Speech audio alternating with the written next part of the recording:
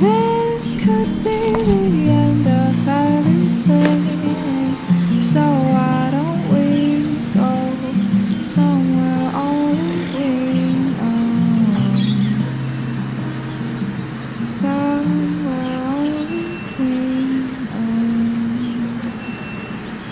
know.